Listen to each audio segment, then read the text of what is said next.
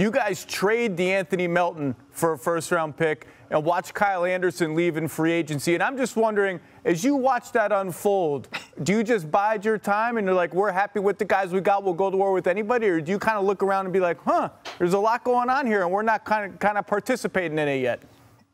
Me personally, when I get ready for war, I'm not worried about who's on the other side. Mm.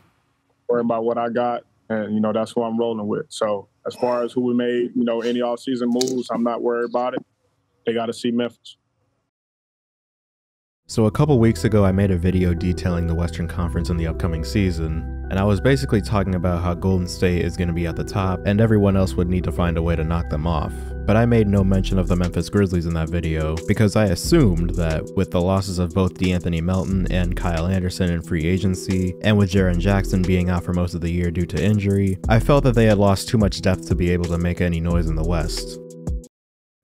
Uh, yeah that might have been wrong. Morant. Morant for three. Bango! 35 of the 74 by Houston. Morant a spin and a make off glass to Konchar. Lob. Morant! But the tap comes to Jalen Green. Doesn't have numbers. Steps. The shot! You've got to be kidding me! While they did lose valuable pieces, they've been off to an amazing start largely thanks to the unbelievable play from Ja Morant. And so that's what we're going to be talking about today. We're going to talk about the Grizzlies' start, what's been working, and about how Ja Morant could have a very real chance to win this year's MVP. So let's get into the video. So real quick, I know a lot of you guys watching this are not subscribed, so if you do fall into that category, please feel free to hit the sub button. It only takes a second and it really helps out a lot. Also be sure to hit the bell, and also be sure to leave a like as that also helps out a lot. So coming into the season, a lot of people, myself included, were a bit skeptical about what the Memphis Grizzlies would be able to do in such a tough Western Conference. Because like I said before, in the offseason they lost Kyle Anderson to Minnesota, and they lost De'Anthony Melton in a pretty head-scratching trade to the Philadelphia 76ers, where they didn't really even get anything of value back. And so we saw that, and then we would find out that Jaren Jackson Jr. had surgery in the offseason for a stress fracture in his foot, and that he would be out for 4 to 6 months. So now with one of their best players out likely until after the new year, we didn't really think that they would be able to do anything of value in this tough Western Conference that has only gotten tougher this year thanks to some returning teams. Enter Demetrius Jamel Morant because what's happening right now has to be extremely worrying for the rest of the league. The guy who just won Most Improved Player last year now looks like he's made another big leap in just his fourth season. It doesn't look like there will be that many teams that will be able to slow him down. In his first four games, he's averaging over 35 points,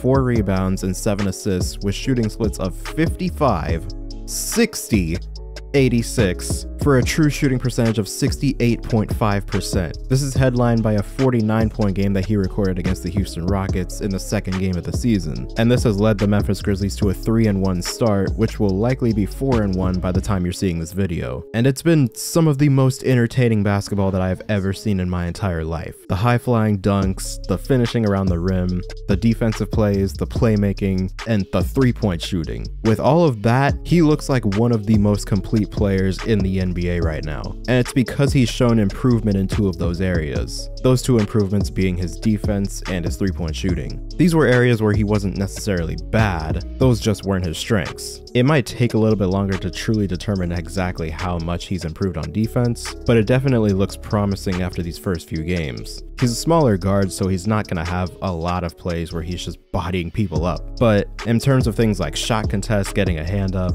getting blocks like this, you can definitely see an improvement. Now it is clear that he still has a lot of room for improvement because there are still certain plays where he just looks lost, but again he's shown promise. Like this ball denial on KD for example.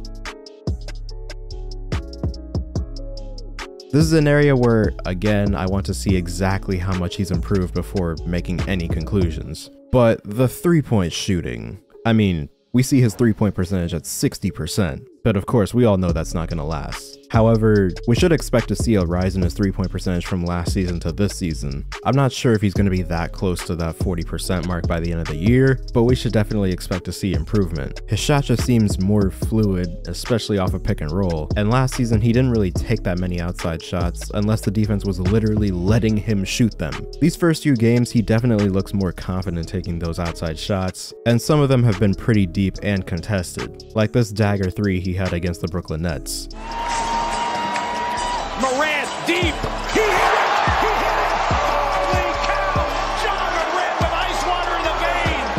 And like I said before, the Memphis Grizzlies are sitting on a 3 and 1 start, largely thanks to his play, but also thanks to some other players stepping up. Desmond Bane was sort of disappointing to start the season, shooting just 26% in his first 3 games. However, he was able to turn it around after scoring a career high 38 points against the Brooklyn Nets, a game in which he shot 14 for 21 from the field overall and 8 for 11 from 3. His field goal percentage has dropped, but his three point percentage is exactly where you would expect it to be at 41% on nearly 10 attempts per game, by the way. If he keeps that up, which is very possible, he has a chance to become just the third player in NBA history to shoot 40% from three on 10 attempts per game, joining only Stephen Curry and Damian Lillard. I know that it's still early, but I can definitely see someone like Desmond Bane joining that list. However, I also realize that he's been wildly inconsistent so far this season, so we'll just have to wait as time goes on to see what happens there. They've also been getting additional help from guys like Tyus Jones and Steven Adams. However, I'm gonna wait to judge the team as a whole because they have yet to play a lot of good defensive teams. The five teams they've played are the Knicks, who rank 8th in defensive rating, the Rockets, who rank 20th, the Mavericks, who rank 12th, the Nets, who rank 29th, and the Kings, who rank 21st. So, although they are playing really well right now, there is a chance that it could simply be because of the level of competition they've faced in the early part of the season.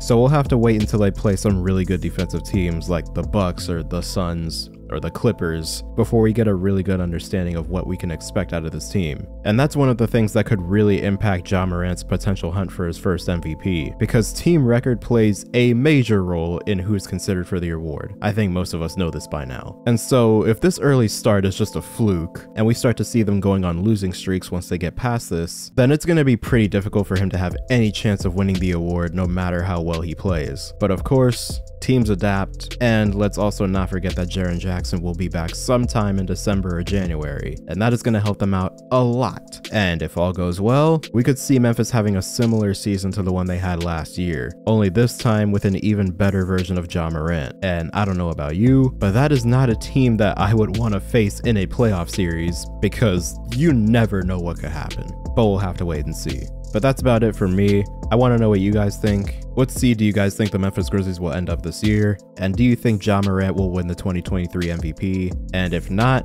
who do you think will win it over him? Let me know what you think. But with all that being said, I hope you guys enjoyed this video. Subscribe if you're new.